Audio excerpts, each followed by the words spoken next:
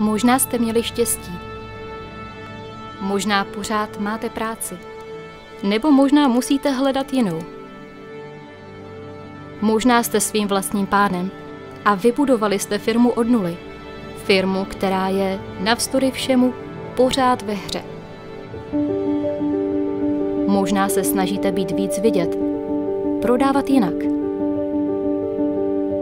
Ale možná to není tak snadné. Možná musíte začít znovu.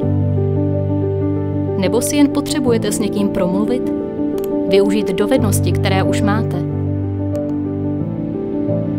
Nebo využít příležitost a naučit se něco nového.